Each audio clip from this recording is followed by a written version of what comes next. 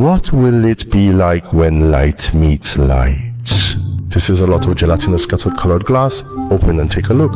Different colors of light are projected and meet on the wall, overlapping and combining. Can this phenomenon and the theory of painting with light coexist? Stop.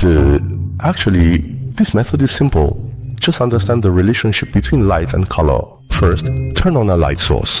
The more layers of inherent color a glass projects, the stronger the light will be blocked.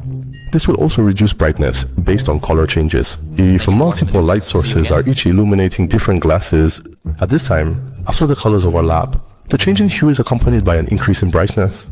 So if you want to paint over the light, I just need to design a combination layer containing basic It's colors very good and then use the above two methods to change colors to make two groups of Apply images. material you just triangle. need to make and assemble the glass and flower house with patience.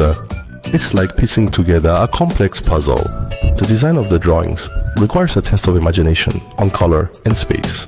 I guess someone is thinking about using a projector instead. Haha, yes, this inspiration came out when I was full. The final placement and adjustment is more complicated than I imagined. In order for the three groups of lights to converge at one point, the positions of the lamps and glass must be exactly right, otherwise there will be double shadows. Yes.